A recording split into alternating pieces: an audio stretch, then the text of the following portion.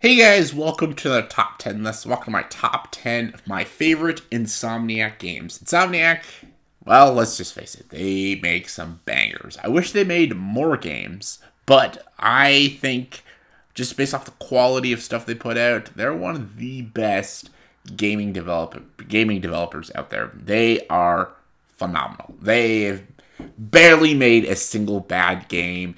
Um, I know everyone says like maybe like Naughty Dog is one of the best out there. Ubisoft, if you're on drugs, I don't know. Um, you get uh, Square Enix or SquareSoft, they're up there too. Just I don't. I think Insomniac is one of the best. Uh, even though, like I said, I want more games for them, but they created like the Spyro, Ratchet and Clank, Spider-Man games. Just they've done a lot of great series of games and I thought I'd just talk about my top 10 of my favorite Insomniac games. Yeah, it, there's only like four franchises on here, but let's put them in order of my favorites. So it's not wasting any time. Number 10, Ratchet and Clank Up Your Arsenal. This is the third Ratchet and Clank. because second one's going Commando. This was one of the last PS2 Ratchet and Clank games, and I love the weapons that are used in this movie, this movie video game. So you should talk about movies. Um, the bosses are awesome. The level design, great. It's actually the first Ratchet and Clank game. When I was younger, it actually was a challenge. I always thought the first two Ratchet and Clank games were pretty simple, pretty straightforward, fun platformer shooting games, but easily done. Uh, Up Your Arsenal actually had some level difficulty, especially if you're going for the 100% collectible tro- uh, trophies for the PS3, obviously. Uh, I enjoyed it. Uh, I think this is one of the top Ratchet and Clank games. Some people would debate that the first one is still better. I didn't put the first one on here for reasons I will get into, but yeah, Up Your Arsenal, awesome. Number nine, Ratchet and Clank 2015 remake. I'm putting this over the first, uh, the original. It's a remake of the original. I just think it's more playable. Uh, the first Ratchet and Clank for the PS2 is fantastic. It's a great game, iconic game, but the remake is just more playable. It's not as clunky. It's not as stiff. It adds more to the story. It puts more comedic elements to it. It's more bright and colorful and lively. I just like the level designs more. I just think it's done a lot better. Because uh, when you play the 20, 2015 remake and then you go back to the original PS2 Ratchet and Clank, it's it's it's very stiff. It's very dated, and this nothing to do with the PS2 or anything. It's just the PS4 how they handle Ratchet and Clank from then on out is just it's just done better. So, just saying. Number eight, Resistance Fall of Man. This is a great game. This is a PS3 launch title, and it was the fourth PS3 game I played. The first PS3 game I played was the first Assassin's Creed, and then I played Force Unleashed, and then I played Marvel's Ultimate Alliance, which was a PS2 game, but it was PS3 as well. Then I played Resistance Fall of Man. This is a great game. It's a fantastic uh, first person shooter. It's very different game mechanics than like let's say a Call of Duty or even the Tom Clancy games. Uh, it is an alien invasion movie. Movie again, going with movie. Uh, alien invasion game, kind of like a Gears of War or a Halo, but I actually think Resistance Fall Man is better than most Halo games.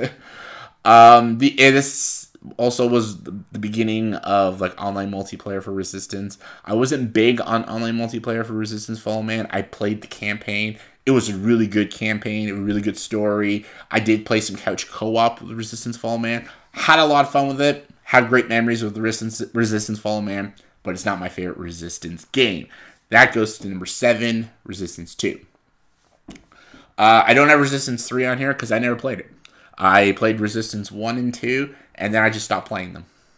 I don't know why. I think that was also during the time period I just stopped playing games in general. I near like the ending of the PS3 era, ending a PS3 era to beginning PS4 era, I kind of stopped for a long time playing games. So Resistance 3 was part of that. Um, Resistance 2 though, I had a blast. This like the story and campaign was was good. And I, again, like I played couch co-op on this, but it was the online multiplayer. That's what I played. I dived into the online multiplayer. This was like one of the first online multiplayer shooting games I used to rock. Because even though I did play Call of Duty in the past, I never really played the multiplayers until later on in life. I just played the campaigns.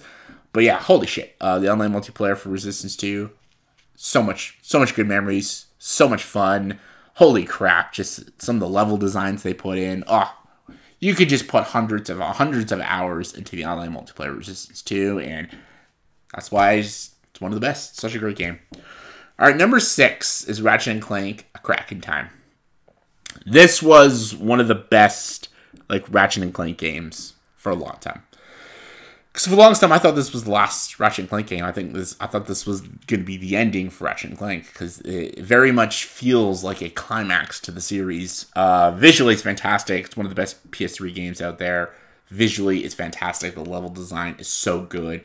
This was really competing as like one of the best like PS PS3 platformers out there, right up there with like Portal Two. Um, I loved this game.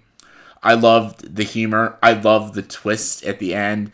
I, I just think this is a fantastic game. Again, new weapons, new level designs, uh, new story arcs for Clank, and it just it, it just does its job, and especially how they do the time travel and how they, you know, they go into the previous games within this game. Super cool. Very uh very thought provoking for a Ratchet and Clank game. I'll give it that. So definitely one of the best Ratchet and Clank games. All right, number five. Now we're getting into Spyro. Number five, Spyro 2 Ripto's Rage. I love me some Spyro. Ripto's Rage. Uh, I don't have the first Spyro on here because I think it is a good game, but I think this the, the sequels were better. Ripto's Rage brought in the great villains of Ripto, Crush, and Gulp. I love them. They're so great. Uh, just childhood right here. I remember putting so many hours into the Spyro games. Ripto's Rage was one of my favorites. Uh, this brought in the uh, the orbs, which I love. Um, I think this is the one with Trouble with the Trolley. Is this Trouble with the Trolley? Eh, so good. Um, I love it. I love it. This was to me. This is one of the hardest Spyro games because uh, getting the hundred percent gems and orbs and doing the trials, the flying levels. There's a challenge, but this is a great game though. It brought in like again Ripto. It brought in like Hunter, and it brought in Aurora. Like it brought in all these characters, and it, this was like the iconic Spyro game. And I know everyone will say put the first one on there, but Ripto's Rage is better. Number four, Spider-Man Two. Spider-Man Two just came out last year. Killer game amazing open world superhero game. You get to play as Eddie Brock in this game. You got Miles, Peter, Eddie. So good. Um, it just it gives you everything that you want and more within the Spider-Man video game worlds. Eh, great story. All three of them have a story. Mostly it's Miles and Peter's story, and it, they're great. This is just a fun, like 100% platinum to go through. The combat's just so good you can just play Spyro, uh, Spyro, Spider-Man games just for hours and hours, swinging around New York City as these characters. It's just so good. The soundtrack kicks ass in this game. The ending fight sequence is so good. Just it's fucking Spider-Man. These are great games. Number three, Spyro: Year of the Dragon. This is the best Spyro game in my opinion. It's the best. It, it has the most creativity. It has all the new characters. You get to play not only as Spyro and even Hunter, but you also get to play as all these new characters like the Kang- uh, Sheila the Kangaroo, Sergeant Byrd, Agent 99, um, Bentley. Uh, you get to play all these. They have their own levels and stuff. You're hunting dragon eggs. You get to meet Bianca for the first time. Oh, there's like a little romance in it. There's just so much in this game. It's actually got like a very charming and lovable story. Just all the characters and the designs and the world. You get Moneybags. You get to fucking take revenge on him. My God, that's satisfying. It's it's the best Spyro game. I don't even think it's a competition. This is the best Spyro game. So there you go. Objectively. Number two, Spider Man. First Spider Man. 2018 Spider Man. Great game. Great worlds um, almost everything that I'm said about Spider-Man 2 I say more about Spider Man 1. So, this was just the beginning of truly amazing superhero video games. Like, we had some okay superhero video games, but Spider Man showed that, like, you can get remarkable superhero video games. This, to me, I think is the best uh, superhero video game ever made. This 2018 Spider Man. You actually get to feel like you're Peter Parker, living the life of Peter Parker. As a photographer, as a scientist helping uh, Dr. Osborn, um, not Dr. Osborn, Octavius, and you get to live your life and you're hiding your secret from Aunt May and stuff. Then you're helping Miles out, and it's an incredible story. And the combat is amazing. This, the web movement around New York City is fantastic. The side quests are great. Just finding Howard's pigeons is just amazing. Everything about this this game is incredible. It's one of the best superhero games, probably the best superhero game ever made. But it's not number one. Number one is Ratchet and Clank Rift Apart. This is the best Insomniac game for me. Um, it's the best Ratchet and Clank game. Visually, it's incredible. It uh, brings in a new character of Rivet. Rivet actually is more interesting than than Ratchet, which I didn't think that was possible. How they do the alternate time realities of Ratchet with Rivet is awesome. So clever, so unique.